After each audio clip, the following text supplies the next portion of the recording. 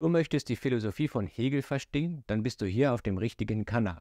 Der deutschen Philosophie gehört der Gedanke der Einzeit von Denken und Sein, von Geist und Materie an.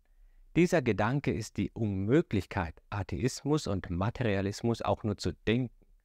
Dieses Wissen begreift Denken und Sein als den Geist, der sich über die Entäußerung seiner selbst mit sich selbst vermittelt und in dieser Entäußerung in sich selbst zurückgekehrt ist.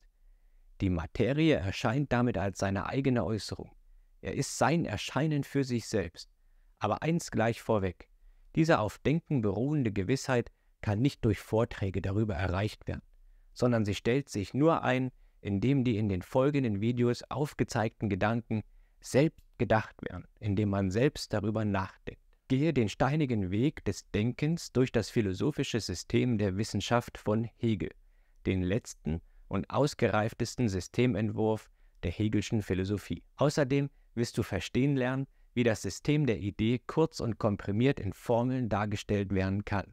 Nach diesem Video kannst du Hegel an einem Spätnachmittag deinem Philosophieprofessor erklären. Ich beschäftige mich seit zehn Jahren mit Hegel und mein Wissen möchte ich hier gern mit dir teilen. Das Gute an Hegels Philosophie ist, dass man sie lernen kann, weil sie nachvollziehbar ist.